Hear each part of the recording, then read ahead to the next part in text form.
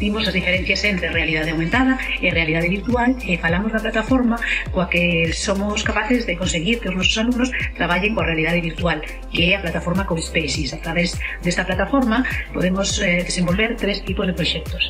Proxectos que usan os gráficos da propia aplicación de 360 grados como obxectos e personaxes en 3D. Eh, por outro lado, tamén podemos traballar co Cubo Merge en realidade aumentada e finalmente podemos facer proxectos que utilicen a fotografía 360. Eh, nos utilizamos unha aprendizaxe baseada en retos que van de menor a maior dificultade e a partir de aí, o noso alumnado poder crear todo tipo de proxectos por exemplo, arte interactivo, historias animadas e incluso videoxogos eh, traballamos co linguaxe de programación co blocks, unha linguaxe de programación moi similar ao Scratch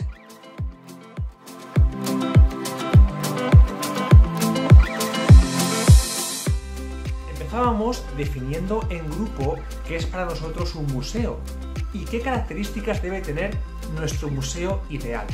Y hablábamos de espacios multiculturales que están al servicio de la sociedad, que promueven la investigación y que sobre todo están conectados con el público. Y decíamos que estos lugares deben ofrecer numerosas actividades para conseguir sus fines educativos.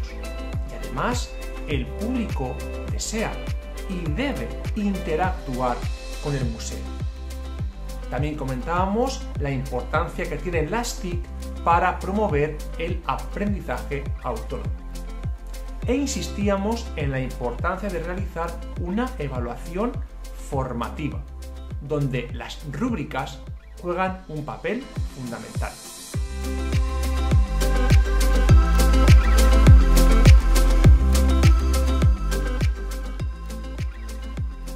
Na miña presentación para o proxecto Design Pins dou resposta a unha serie de interrogantes que, como, onde, por qué, a pesar de que, que se plantexan cando eu analizo a miña práctica educativa e a miña experiencia ao longo dos anos.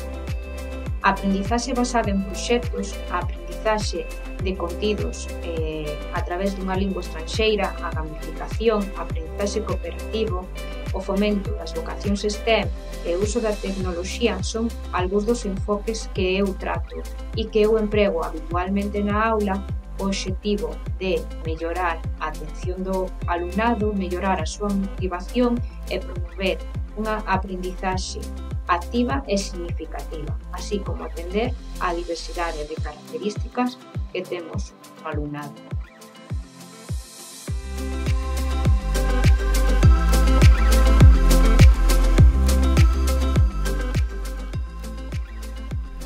no ensino das ciencias en materias como bioloxía, química, matemáticas, no STEMBAC ou incluso no clube de ciencia o alumnado que quere explorar. E para explorar debemos de abrir as fiestras da nosa aula. Non somente esas fiestras físicas, tamén precisamos abrir este tipo de fiestras. Os laboratorios virtuais, os laboratorios remotos, a ciencia cidadá ou as cámaras na natureza van a servir para que poidamos interactuar en lugares tremendamente remotos. O que nos interesa en realidade é que o alumnado sexa crítico e que sexan capaces de poder, en base ás súas evidencias, sacar as súas propias conclusións, de que teñan o seu propio gusto por investigar ou de solucionar os propios problemas. Conseguiremos que o alumnado teña máis confianza e máis autoestima. Para eso non precisamos unha clase que esté totalmente controlada, unha clase in vitro, precisamos unha clase aberta, in vivo, onde cada día sexa unha nova aventura.